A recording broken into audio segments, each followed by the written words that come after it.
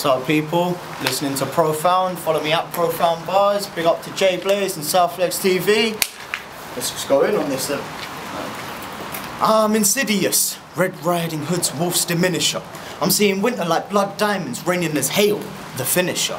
The big book plagued and raged the minds that stayed inferior to analytic ways that proposed a change to space interior. Matter that based every race and embraced experience to some blast that quake, erase time, and allow life to make its signature.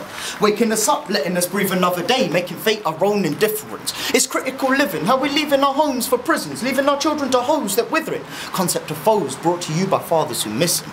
All raging youths just looking for a father to listen. One that has it in them to say, I'm making a difference. Teach us about love and how to care for our women. Be there for them, not just scare them into bearing our children. Because nowadays we're dealing with Medusas of the heart, ripping apart every fabric of your being to who you are is barely a mark. But don't hate on our women.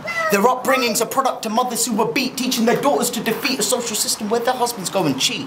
So I say, try and show love to our women and venture a new beginning where trust ain't the factor that's keeping men on Mars and women on Venus and the illusion of empty spaces was keeping us apart.